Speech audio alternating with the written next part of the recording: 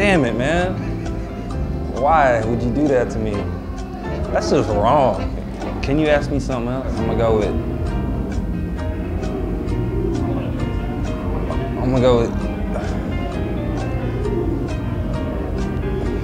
I'm gonna go with Tupac.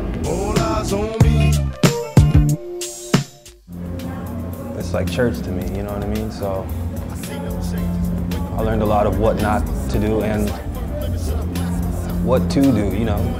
Proud black man, you know what I mean? Like be proud of yourself, make something of yourself, get out of this situation, this trap, you know, like there is light. And he made it very clear, he's passionate about it, you know. Necktie, because I can't tie a, a bow tie.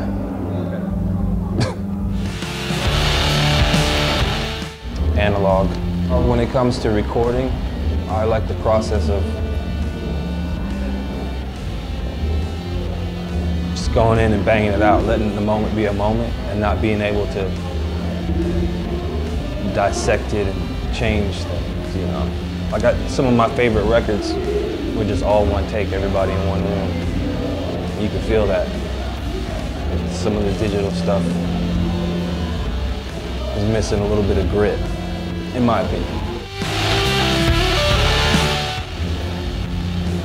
I still got them, man. Black Chuck Taylors I got like 10 years ago. They're raggedy as hell, but I still got them. I have a lot of crushes. Hmm.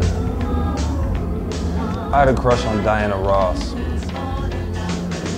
My parents had the records, so I saw her on the album first, and then I saw her moving picture. I just, I don't know, I just like looking at her. Caramel corn. You know how like every now and then around the holidays they come in those big bins, like three, a different kind? I would always go for that one. I can do the moonwalk. One to 10, I'm a 12. 12? I might even be a 25. Billie Jean, of course. What's up? This is Gary Clark Jr. and you're watching Okayplayer TV.